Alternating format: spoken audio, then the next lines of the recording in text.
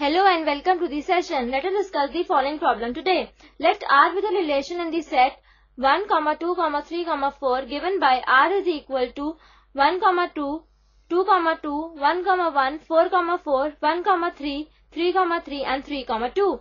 Choose the correct answer. R is reflexive and symmetric but not transitive. B. R is reflexive and transitive but not symmetric. C. R is symmetric and transitive but not reflexive and D, R is an equivalence relation. Now let us write our solution. First let us check for reflexivity.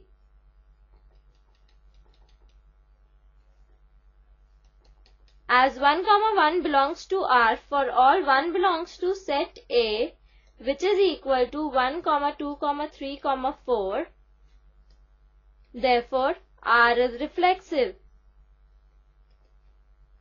Now let us check for symmetry.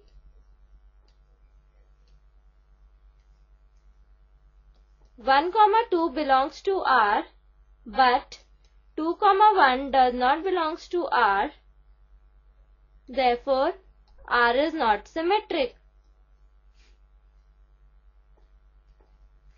Now let us check for transitivity.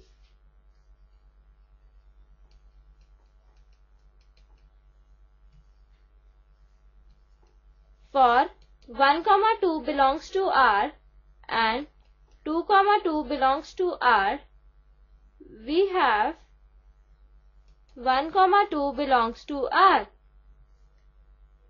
Therefore, R is transitive.